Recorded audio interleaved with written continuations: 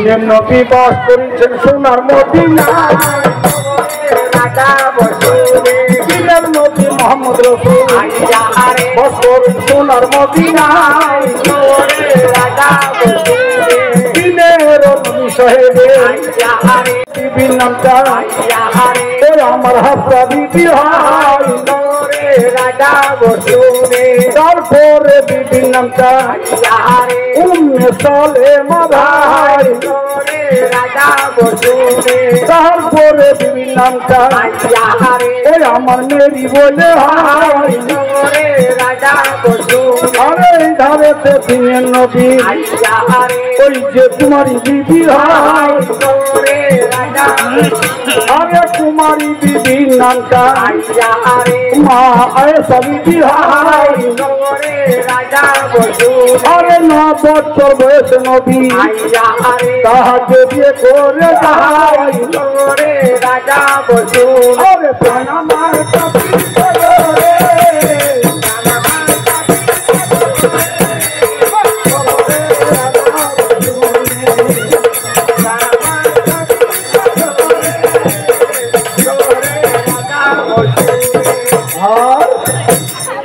আমার জানাচ্ছি শোভা বরাবরে। আমার দিনের নবী হজরত মোহাম্মদ রসুল হ্যাঁ। বাস করছেন মদিনা শহরে। বলেছি আমি প্রথমে দিনের নবীর এগারোটা বিবি। হ্যাঁ। তো কেউ কেউ বলবেন বাহারে নবী সাহেবের যদি এগারোটা বিবি হয় তো আমরা কেন পাঁচ সাতটা করব না? করব না। হবে না ভাই। হ্যাঁ। আমরা যদি বিয়ে করি পাঁচ সাতটা হ্যাঁ। কোনো বিবির মনকে রাখতে পারবেন না। একটা দুদিন মন জোয়াতে পারছে না তারা না কেন? এ বলবে আমার চুড়ি নাই। হ্যাঁ। ও বলবে আমার বেনারসি শাড়ি নাই। আর একজন বলবে আমার রেশমি দানা চুড়ি নাই। চুরি নাই। এনে দাও। হ্যাঁ। এই করতে বলতে বলতে ঝগড়া নিয়ে বাহ। হ্যাঁ। হ্যাঁ। ও চুল ছেড়ে ছিল হ্যাঁ। আর নবীর বিবিরা তিনারা এমন মেয়ে ছিলেন যে সতীনদের সঙ্গে সতীনের কোনোদিন ঝগড়া হয় নাই। না। মা এসব ছিলেন ছেলে মানুষ। ন বছর বয়সে বিয়ে করেছিলেন আল্লাহ নবী। বাহ। তো সেই আরও যে দশটা বিবি ছিলেন তার মধ্যে মা খাদিজা উফাত করেছিলেন। হ্যাঁ। মারা গিয়েছিলেন। তো সব বিবিরাই বলছেন যে আয়েশা নবীকে তোমার বাড়িতে রাখো। বাহ কেন ছেলে মানুষ। হ্যাঁ আর এরা সব বয়স্ক। মানে বিধবা হ্যাঁ কেউ তার স্বামী ছেড়ে দিয়েছে। হ্যাঁ। এইরকম ব্যবস্থা ছিল। আচ্ছা আচ্ছা। কিন্তু মা খাদিজার গর্ভে দুটো ছেলে আর চারটে মেয়ে হয়েছিল। বেশ নবী সাহেবের ব্যক্তিদের নাম কি জানেন? প্রথম প্রার ব্যক্তির নাম হচ্ছে ওই জয়নব। হ্যাঁ। দ্বিতীয় মেয়ের নাম হচ্ছে রকিয়া। হ্যাঁ। তৃতীয় মেয়ের নাম হচ্ছে মা কুলসুমা। হ্যাঁ। আর ছোট মেয়ের নাম হচ্ছে মা ফাতেমা জগতের জননী যে হবে জান্নাতের রানী। বাহ। তো মেয়েদের সর্দার হবেন ওই মা ফাতেমা জান্নাতে। বা মেয়েদের সর্দার হ্যাঁ। আর যখন জান্নাতে যাবে মানুষ তখন একটা বুড়ো বুড়ি থাকবে না। না। সব যুবতী যুবক হয়ে যাবে। যাবে। আমরা বুড়ো হয়ে গেছি তো জান্নাতে আল্লাহ আমাদেরকে সব যুবক করবে বেশ। বলেন তো? তো মা খাদিজার গর্বের চারটে মেয়ে আর দুটো ছেলে। আর ওই হাফসা বিবির গর্ভে একটাই ছেলে। হ্যাঁ। ছেলেদের নাম কি গো? ইব্রাহিম কাসেম আর তহিদ বাহ। ইব্রাহিম আবুল কাসেম আর তহিদ আর মেয়েদের নাম জয়নাব রকিয়া কুলসুমা ফাতেমা। হ্যাঁ। চারটে মেয়ে। তারপরে খাদিজা মারা গিয়েছিলেন। তারপরে দিনের নবী আবার এই বিবিদেরকে বিয়ে করেছিলেন। বেশ, সবাই জানাই, এইভাবে দিনের নবীরা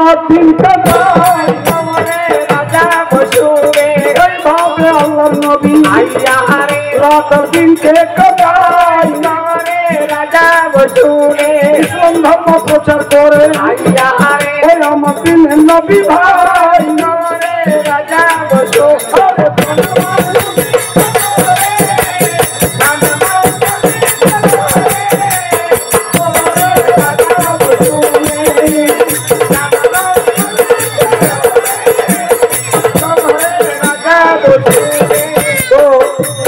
নবী সাহেবের চারটে মেয়ে। দুটো মেয়ের বিয়ে হয়ে গিয়েছিল। না?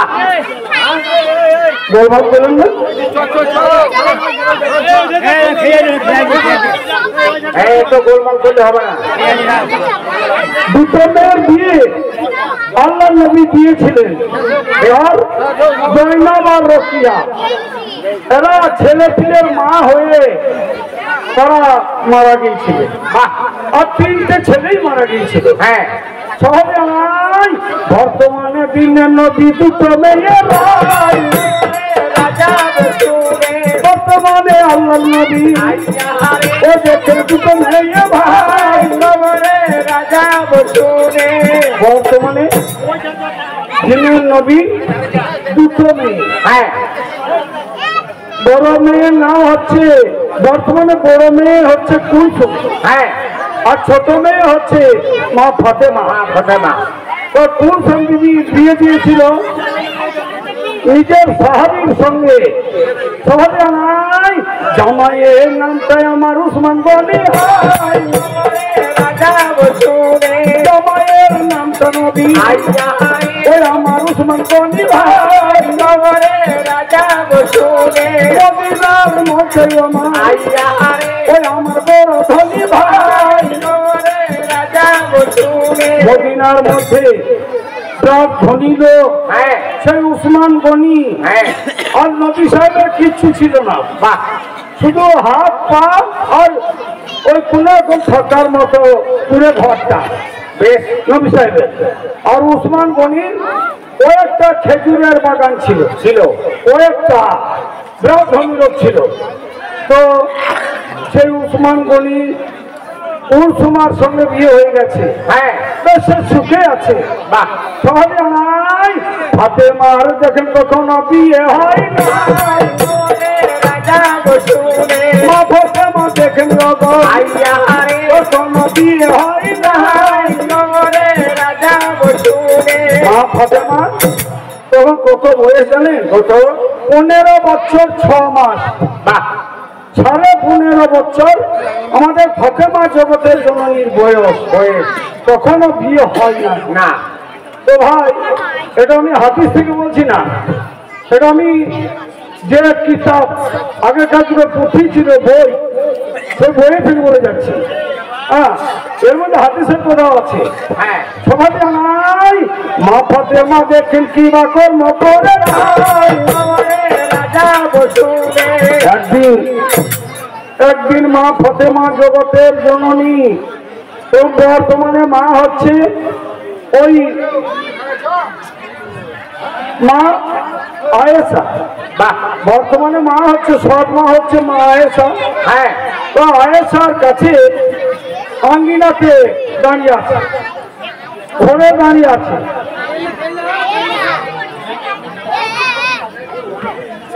আর দিনের নবী হজরত মোহাম্মদ রসুল সাল্লাহু আলাইসাল্লাম তিনি ওই ঘর ঢুকে পড়েছে যেমন ঘর ঢুকে ছিল মা ফাতে মা পিতাকে চোখে দেখতে পেল। আব্বাকে দেখে ফেলে মা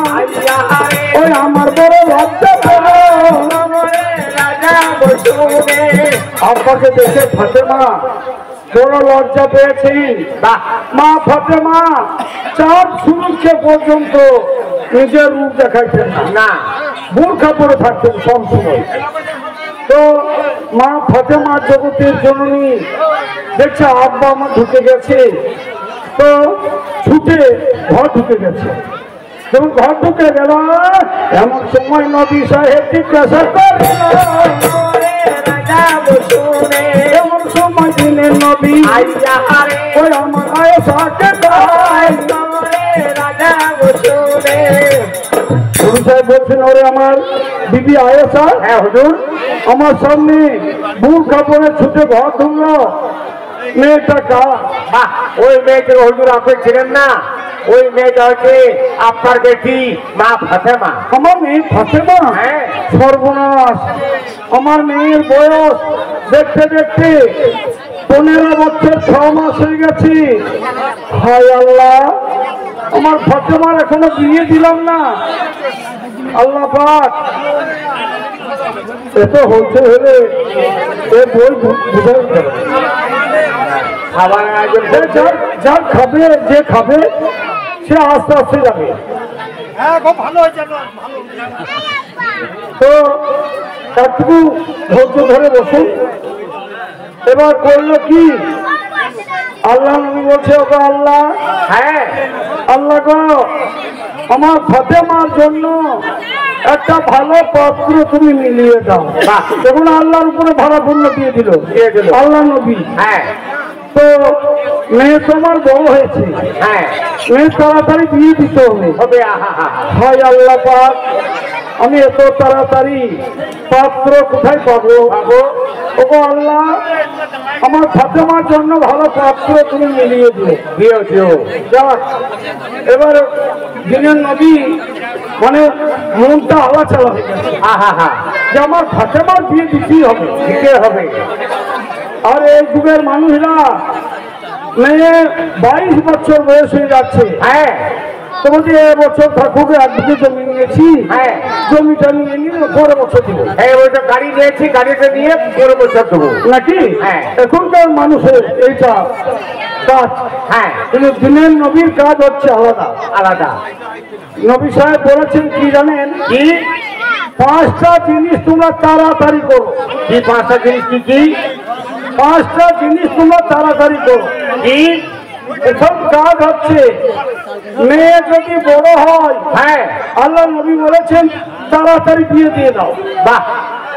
দ্বিতীয় কাজ বাড়িতে যদি মেহমান আসে তাড়াতাড়ি তার জন্য সম্মান করো। করো। আল্লাহ খুশি হয় খুশি হবে। তৃতীয় কাজ কি? জানেন কেউ যদি ঋণ পায় তাড়াতাড়ি শোধ দিয়ে দাও। বাহ। ঋণটা। হ্যাঁ। তারপরে হচ্ছে আল্লাহর কাছে যদি মহাপাপ করো গুণা করো হ্যাঁ তাড়াতাড়ি আল্লাহর কাছে ক্ষমা চেয়ে নাও। আর যদি তুমি কারও সঙ্গে বিবাদ করেছ কার মুখে চাও তাড়াতাড়ি তার সঙ্গে মিলামিশা। বসুনে। তাড়াতাড়ি তার সঙ্গে মিলামিশা করে নাও ক্ষমা চেয়ে নাও হ্যাঁ। তুমি যদি তার কাছে অন্যায় করেছ। বাহ। এই পাঁচটা কাজ তাড়াতাড়ি করতে হয়। করতে হয়। তো আল্লাহ নবী ব্যস্ততায় পড়ে গেছেন আল্লাহ গো আমার তো আমার বিয়ে আমি কেমন করে দিব। আল্লাহ পাক তুমি আমার ফাতেমার জন্য ভালো পাত্র একটা মিলিয়ে দিও। বাহ। আল্লাহর উপরে ভাড়া পূর্ণ দিয়ে দিলেন। তবু আবার রাত্রে শোবার সময় বলছেন ওগো আল্লাহ আমি একটা মনে মনে সংকল্প করলাম। আমি মনে মনে সংকল্প করলাম। আজকে দিন গত রাত গত ফজরের সময় হজরত বিল্লাল যখন মসজিদে আজান দিবে দেবে। তখন আমি বিছানা থেকে উঠবো। উঠে ঘরের দরজাটা খুলবো। বাইরের দরজাটা খুলবো। হ্যাঁ। যদি সামনে একটা ভিকারিকে পাই ভাই আমি কালকেই আমার ফাতেমার সঙ্গে দিয়ে দিব। দেব। এটা বইয়ের বলে বলছি ভাই হাদিসের নয়। হ্যাঁ। হ্যাঁ বেশ। আবার নবী সাহেব বললেন আল্লাহ গো আমার ফাতেমার বিয়ে যদি দরজাতে ফজরের সময় একটা বোনের বাদ দাঁড়িয়ে থাকে থাকে। তারই সঙ্গে আমি ফাতেমার বিয়ে দিয়ে দেবো। দিয়ে দেবো। এই সংকল্প যখন করে নেন আল্লাহ পাকে দেখে না বা নবীকে জানাই রাজা বসুনে ওই আমার হ্যাঁ। ওই আমার রাসূল ওই আমার বন্ধু তুমি যে সংকল্প করলে তো আমি দেখব তুই পরীক্ষায় পাস করতে পারো কিনা। বাহ। বেশ। হ্যাঁ। তো আল্লাহ নবী বিছানায় শুয়ে গেছে। নবীজি न भई कुमर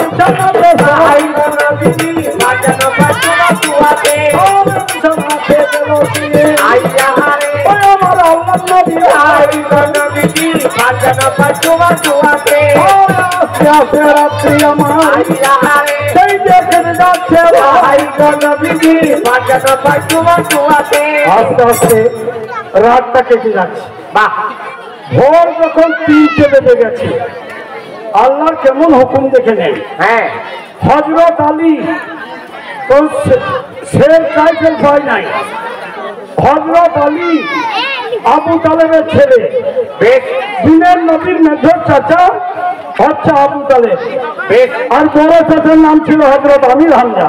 হ্যাঁ। ছোট চাচার নাম ছিল আবুল আহাব যার কোরআনের মধ্যে উল্লেখ হয়েছে তাব্বা মা আগনা আনহু মালহু মা সওনারানি রাতা আল্লাহ বিউ। আমরাতহু হাম্মালাত আল হাতাব ফি বি হা হাবুন ওই আবুল আহাবের নাম। যে আবুল আহাব, তুমি বা তোমার স্ত্রী নবীকে এত জ্বালিয়েছ, নিজের চাচা হয়ে আল্লাহ বলছে হ্যাঁ তোমরা গলায় ফাঁসি দিয়ে ঝুলে মরবে। বাহ। এই সুরাটা নাজেল হলো তখন তো সংবাদ হ্যাঁ হ্যাঁ আবু তালেবের ছেলে হজরত আলী। ওনার বয়স তখন তেইশ বছর। কেবল পালোয়ান হয়ে উঠছেন উঠছে। হজরত আলী। আল্লাহর হুকুম। হজরত আলী একটা বাঘের মূর্তি হলো। টুকটুক করে গিয়ে নবী দুয়ারে তো মা ফাতেমা আর হজরত আলী কে হচ্ছিল তাহলে? নিজের চাচা হচ্ছে। হ্যাঁ। নিজের চাচা হচ্ছে হজরত আলী আর মা ফতেমা। তো নবী সাহেবের যেমন চাচার ছেলে ছেলে। আবু তালেবের ছেলে। হ্যাঁ। সেই পাখির মৃত্যু হয়ে গেল। টুকটুক করে নবী সাহেবের দরজায় দাঁড়াল। দুয়াতে ওই রে নবী সাহেবের দরজায় গিয়ে আইয়া আরে ওই আমার বাগদা নিয়ে যাই গো নবীজি বাজানো বাজুয়া দুয়াতে। আরে দেখিতে দেখিতে হলো। আইয়া আরে ওই আমার ফটো গনবিজি বাজানো বাজুয়া দুয়াতে। আরে হজরত বিল্লামা আইয়া আরে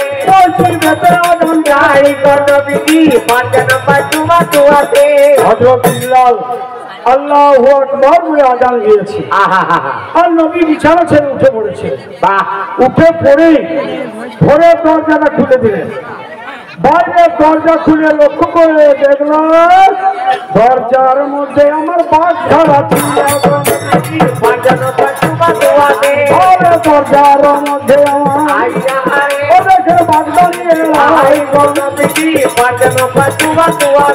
দিনের নবী। জন্তু জানোয়ারের কথা উনি বুঝে হ্যাঁ। হ্যাঁ তো সাহেব বলছে আসসালাম আলাইকুম। বাঘ উত্তর দিচ্ছে ওয়ালাইকুম আসসালাম। সালাম। তো আমি কাল সংকল্প করলাম আল্লাহর কাছে যে আমার ফতেমা কালকে রাত যত ফজর আসতো আমি ঘরের দরজা বাইরে দরজা খুলে দেখব। যদি দরজা একটা ভিখারি আসে তার সঙ্গে আমার ফাতেমার বিয়ে দিব। দেবো দেবো। হ্যাঁ। বলল হাবিবকে করবে দু দিনের ইমাম বাজানো বাজুয়া দুয়াতে। আরে হাবিবকে করবে দুয়া? আইয়া আরে আমার সৎপন যাতন গনবিজি বাজানো বাজুয়া দুয়াতে। আরে হাবিবকে করিবে দুয়া? আইয়া আরে ওই বাবা হাসন হোসেন গনবিজি বাজানো বাজুয়া দুয়াতে। তো